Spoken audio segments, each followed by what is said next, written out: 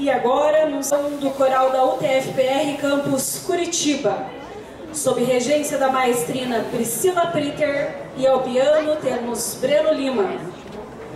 Fundado em 1966 pelo maestro César Leine, auxiliado por Wilson dos Santos até 1974, o coral UTFPR acompanhou ao longo dos seus 53 anos as mudanças e desenvolvimentos da instituição. O coral UTFPR tem estabelecido parcerias com relevantes grupos artísticos locais e internacionais, a exemplo do Harvard Radcliffe Chorus, Harvard University e a dupla Sá e Guarabira, o Coral UTFPR faz parte do programa Vozes da Tecnológica, um programa de extensão universitária que comporta 10 projetos na área de canto coral.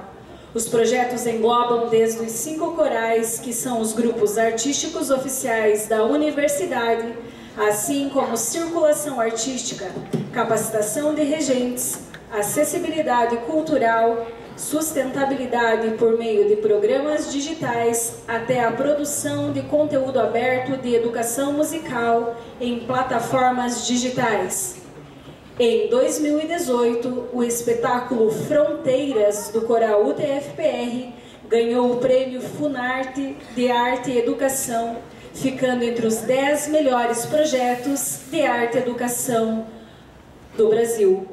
Com vocês, o coral da UTFPR Campus Curitiba.